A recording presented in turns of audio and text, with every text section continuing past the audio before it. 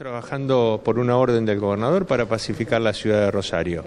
Eh, las características que estamos utilizando son las características estándares para este tipo de situaciones, donde necesitamos que para pacificar, eh, desarmar, para desarmar debemos allanar, para eh, sabemos que nadie va a entregar las armas este, por cuenta propia, así que eh, esta metodología que se está utilizando en nuestra ciudad, en la ciudad de Rosario, está dando sus frutos porque a través del observatorio que tenemos dentro del Ministerio vemos que los números del secuestro eh, se van incrementando, secuestro de armas y la detención de personas se van incrementando. Hay que prevenir, para eso estamos trabajando, para prevenir. Nosotros necesitamos prevenir, prevenir, nosotros necesitamos desarmar. Las mafias necesitan estar eh, presentes y mostrar de que verdaderamente el trabajo es molesto el que está haciendo la policía en este momento. Para nosotros es una tragedia cada muerto,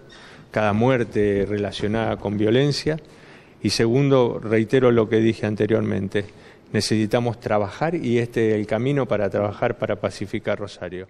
En todos los destacamentos tenía que haber destacado policías eh, más un móvil eh, que es el convenio que habían firmado con el gobernador. En este caso, nosotros estamos iniciando con el jefe de policía, eh, el jefe de policía de Rosario, que está aquí al lado mío, un sumario administrativo para eliminar la responsabilidad de las personas que no concurrieron, los policías que no estaban trabajando. Estoy viviendo en Rosario, vivo en Rosario viajo nada más a Santa Fe porque ustedes saben que es el centro, pero vuelvo a Rosario, estoy constantemente en la ciudad de Rosario. Los índices están, eh, son todos a la vista, eh, están en el observatorio público de la, del Ministerio y los índices nos dicen que sí. Esta mañana me comuniqué también con el ministro Fernández, estuvimos hablando por la cantidad de efectivos federales que están trabajando en nuestra ciudad. Hay efectivos, nosotros tenemos... Eh, 350 eh, son los gendarmes que están destacados en este momento y de las otras fuerzas federales no tengo el número. Utilizó eh, en otras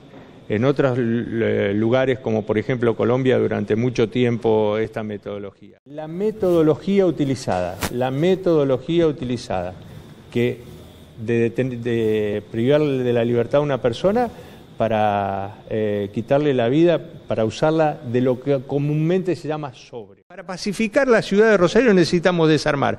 Para desarmar hay que hacer procedimientos, hay que hacer allanamientos, hay que estar constantemente en la calle y darle la seguridad al vecino.